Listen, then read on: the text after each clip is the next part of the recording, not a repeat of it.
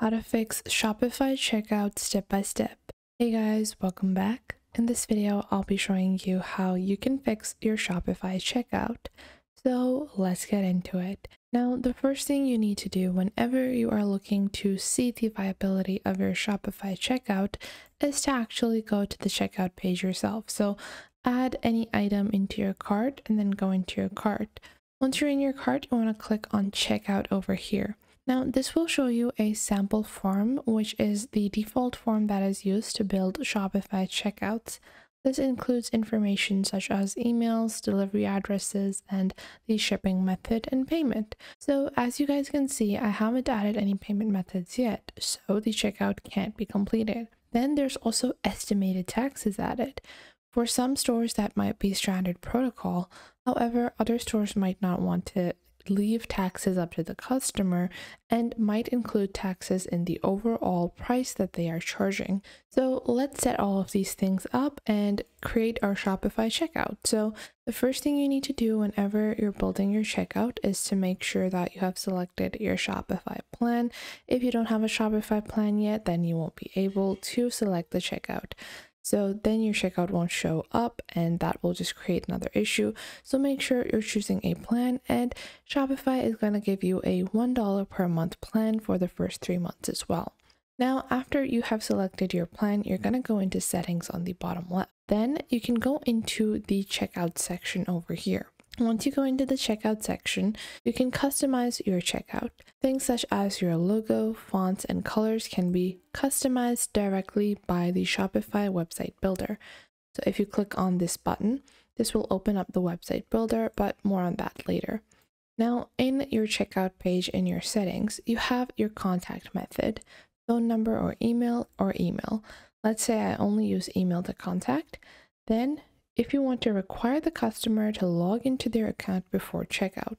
Now, this can be a great way for you to get more registrations. However, some customers just leave their order if they actually have to sign up. So this really depends on you. Now, you also have the option to show a link to download the shop app. Then you have their customer information. So let's say I don't include company names. I have a address line, which is required because I'm shipping my products. Then I have the shipping address phone number, which is also a required field. Then after that, I'm going to add some marketing options. So you can let customers sign up for email or SMS marketing, and I can pre-select the email option, and then if the customers want, they can deselect it. Now, after that, you also have a tipping option. This is more viable for the POS system that you are using. So if you're using Shopify as your POS, you might want to include tipping at your checkouts. However, if this is a delivery based only business, I wouldn't recommend creating tipping in maybe clothing stores because that is not something that is standard. Then you have your address collection preferences and order processing. So if you want to automatically fulfill the order line items, if you only want to fulfill the gift cards, if you don't want to fill fill out any of the automatic fulfillment with the entire order. Or if I also want to automatically archive the order once it has been refunded. So let's say I want to automatically fulfill the order line items and I want to automatically fulfill I want to notify customers of their shipment, but I don't want to fulfill the orders that have a high risk of fraud. So these might be orders that are too large in quantity or they are ordering too many things and it doesn't look like a real order, then those won't be automatically fulfilled. The rest of the orders will be fulfilled. Next up, you also have abandoned checkout emails. This is more so related to your marketing. Then you also have your order status page. So you guys can see that you can add a script, which can be like a thank you note or a shop more note. And then you have your language and checkout rules. Now you're going to click on save on the bottom of your checkout page. And we can go into our second settings that you have to set up, which are payments. So for any checkout to be viable, you need to make sure that you have payments added. A lot of people face the issue of when they have added their payments, it is still showing a error. So let's take a look at how you can prevent that. Now on Shopify, there are a lot of different providers. Taking a look at a provider, just you can go into choose provider and choose any provider that you want. For testing, you have a bogus getaway and you can click on activate for testing. and you will be able to see the bogus getaway will be added.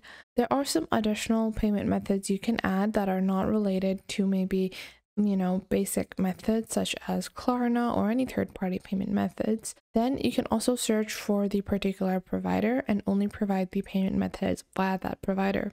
You also have manual payment methods, so you can add manual payment methods such as bank deposit, money orders, cash on delivery, or even your own custom method. Now, custom methods might include payment getaways that are localized. Maybe you have a national payment getaway or, you know, a local payment system that you might be using and might be reliable for you. You can create a custom payment method, add the name, add the detail, and the payment instruction in your custom getaway. Now you also have payment customization and then you also have the option for payment capture method where you can authorize and capture payment when an order is placed. You can click on manage over here and you can automatically do this when it is at checkout or when the order is fulfilled. So the payment is authorized at checkout, but wait to capture until the order is fulfilled. You can still capture it manually if needed. Now, this really is not something I like to do. I like to prefer to do it at checkout. And even if I'm not going to fulfill the order, so if I find that there might be a high risk of fraud, I will not fulfill the order and I can refund the money back to the customer. That's always a safer bet for you and your business. Now, once you have set all of these basic settings up, you need to also go into your checkout and make sure everything is as you prefer. Have your checkout and payment set up. After that, the third thing you need to set up is shipping and delivery. All these options are going to be different for you depending on what kind of product you're selling, depending on how you're looking to structure your business. So I'm going to skip that because this is going to be something that you're going to do that is according to your personal store. Now I can open up my store over here. I can go into my checkout and if I check out with this item over here, I have all of the basic standard options. I have my payment info, I have my shipping method, I have all of the information I need to add, and I can just add my info over here and this will lead me to the checkout. Just to make it simpler, I'll show you guys a checkout page with a bogus getaway, which is going to be a custom getaway with cash. So let's say I'm just going to do cash on delivery like this and I'm going to save this. Now, if I go back into my checkout, I'm going to choose the cash on delivery option. So obviously I haven't added a proper address, so it's going to show me errors because the address is not something that can be delivered to. But keep in mind that I also have a error for the total order. Now this is something a lot of people at checkout are going to face, especially if you're doing your taxes separately. So if the customer has to pay taxes on their own end. So make sure to go into taxes and duties over here and you can manage your sales tax as well as duties and fees. Now, if you want to click on include tax and prices, just tick off this option. This is something you need to tick off if you're only doing a domestic business, then make sure to include taxes in your initial prices to prevent any further issues at checkout. Now, if you're facing issues still at checkout that are related to your payment, then you can go into your payments over here, click on manage, deactivate whatever payment system that you have added, then click on choose a provider. You can choose a alternate provider or you can also go with the same provider again. Just make sure to deactivate the provider once and then reactivate your provider. That usually resolves any errors or bugs that you have with setting up your payment provider. Now to change the appearance of your checkout page, go into settings and checkout and click on customize checkout over here. This will open up the website editor and from here on the left side, you have multiple different options where you can change the layout, add animations, buttons, variant pills, inputs, product cards, and more. So I hope you guys found this video helpful. If you did, make sure to leave a like and subscribe.